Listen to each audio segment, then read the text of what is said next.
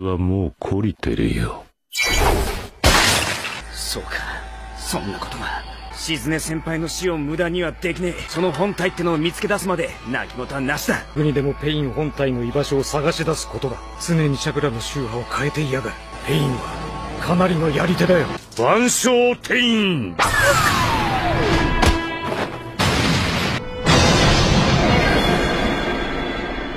一体何だってんだなんでこんなことしやがる出来事はいつも突然だ。理由は後になって気づく。少し話をしよう。お前はなんでこんなことをする？と俺に問うた。俺の目的は、ジライア先生も成し得なかったこと。平和を生み出し正義をなすことだ。俺の師匠を俺の先生を俺の仲間を俺の里を偉そうにほざいてんじゃねそれこそ正義だな。だが、俺の家族を、俺の仲間を、俺の里を、平和と正義を口にすることを許されるわけではないだろう。お前も俺も目指すものは同じだ。互いの正義のために動く。お前が俺にやろうとしていることと同じだ。お前はお前の正義のため、俺は俺の正義のために、駆り立てられた普通の人間だ。復讐を正義というならば、その正義はさらなる復讐を生み、人は決して理解し合うことのできない生き物だと忍びの世界は憎しみに支配されている。この忍びの世に憎しみがはびこっているのはわかる。どうしたらいいのか、わしにもまだわからん。その答えをお前に託すとしようかの。お前なら平和を作るためこの憎しみとどう向き合う。お前の答えを聞こう。わかんねえ。そんなことその憎しみの連鎖を止めるために暁を立ち上げた。キュービのその力が必要なのだ。本当の痛みを世界へ知らしめ痛みにより一時の平和を生み出すこと。長門あまり無理をしないで。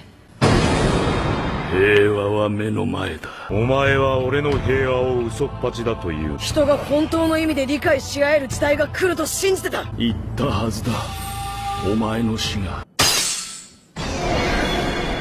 急所は外して浅くしてやる。しっかりせえ小僧お前は四円の子じゃこの世の救世主じゃ。じゃけんお前が負けることは許されん。そろそろお前を連れて行く。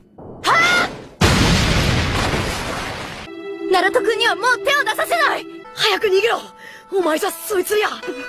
そんなんでこんな危ねえとこ出てくるんじゃねえ。今度は私がナルト君を助けるの。いつもナルト君を追いかけてナルト君に追いつきたくてナルト君を守るためなら死ぬことなんて怖くない。ナルト君が大好きだから。ナ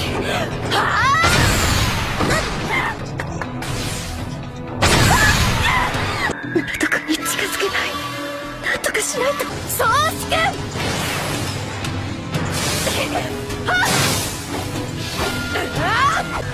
もう一本。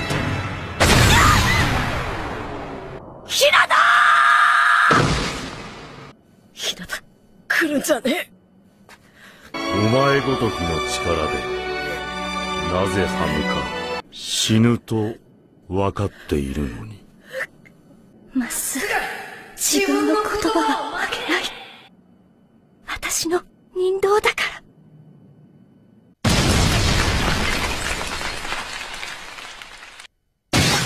俺の両親もお前ら木の葉の忍びに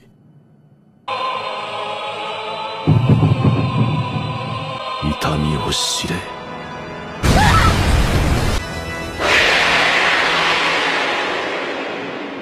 キュービの力か怒りでナルトと呼応するようだな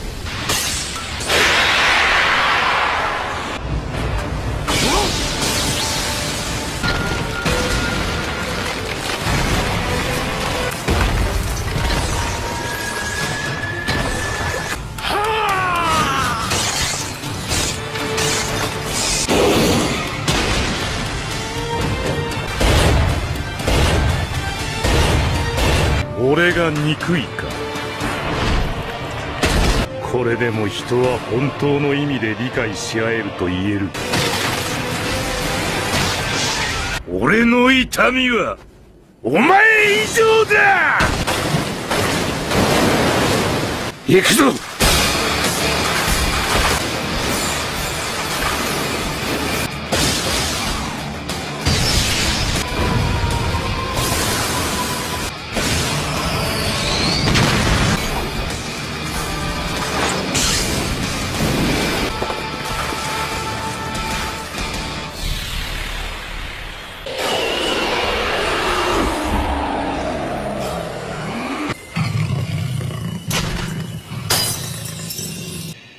印を解いた。早い。真羅転生。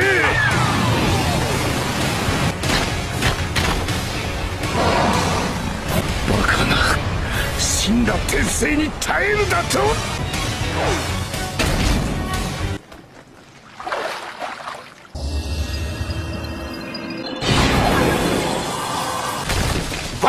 万象天員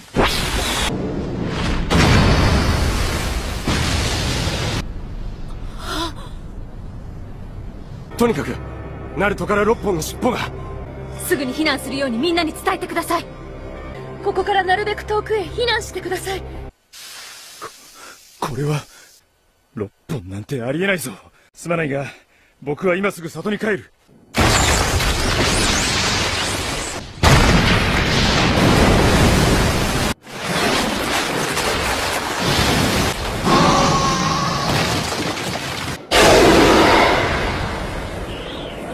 天道を十分近づけた。千爆転生。もうあなたの体が。集中する。自爆転生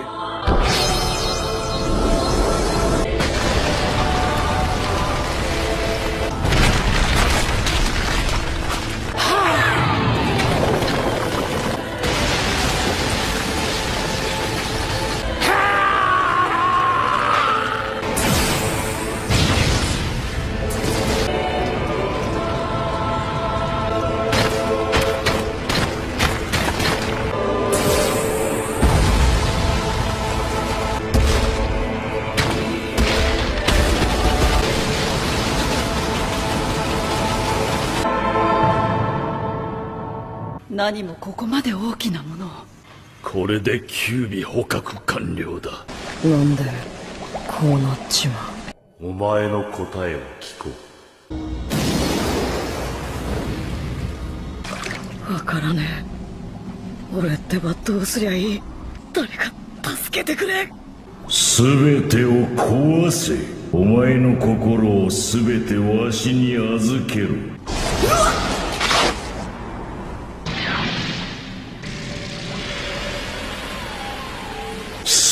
だ。それでいい。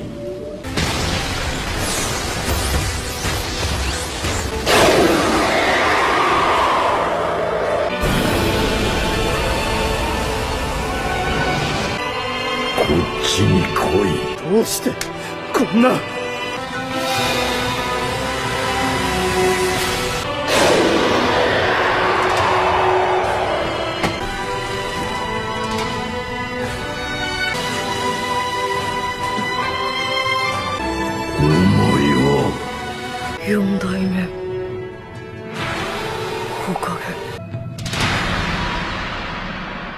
もうお前に会いたくなかったしねキュービ成長した息子に会えるのは少し楽しみでもあったから。どうして？四代目火影が俺の名前を？俺がつけたんだから。せがれなんだし。さっきも言ったろ。俺の息子だよ。うるさいね後ろの。少し別のところに行くよ。三代目は何も言わなかったようだね。息子と別れば色々と危険が降りかかるからね。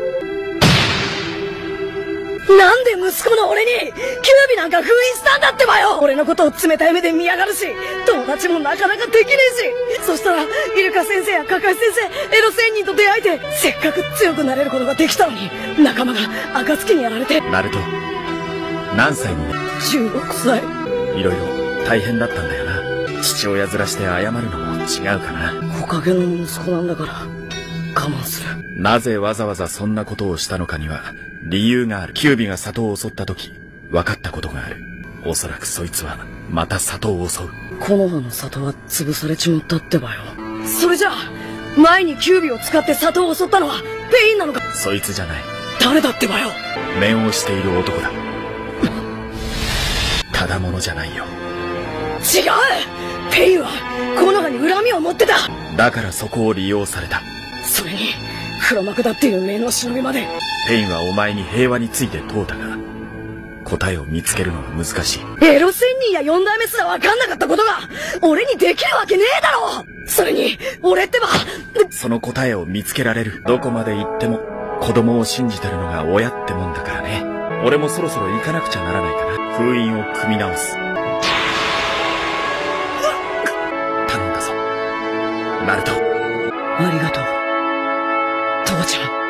ゃん芝生転生から這い出てくるとはな。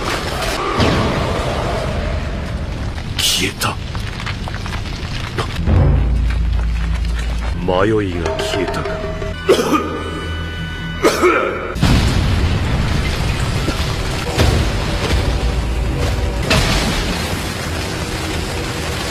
チャクラが乱れちまった。俺自身に残ってる分だけってことか。キュービの力どれほどか確認しておきたかった。死ぬかと思いましたよ。まだ日向のチャクラが感じられる。でもキュービ化したナルト君の攻撃で木の葉の人々に被害は出ていません。致命傷は避けている。でもすぐに治療しないと。そろそろ決着をつけよう。同じ痛みを知らなければ他人を本当には理解できない。分かり合えるわけでもないお前がサスケを追いかけても無駄なようにな。お前の本体のところへ俺を連れて行け。話したいことがある。本体に気づいたか。ジライア先生もお前たちも今さらお前が何を語っても何も変わらん。2発までしか撃つことはできないよやっぱ戦うしかねえみてえだな。もう隙は与えない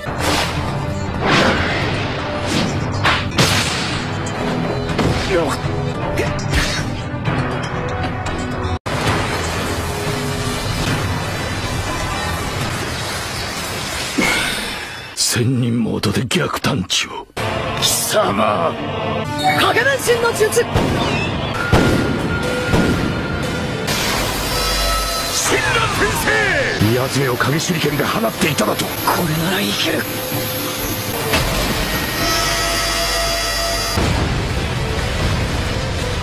あの時すでに影分身を仕込んでいたとはな。だが2発外したななこれほどの影分身を瓦礫に変化させて。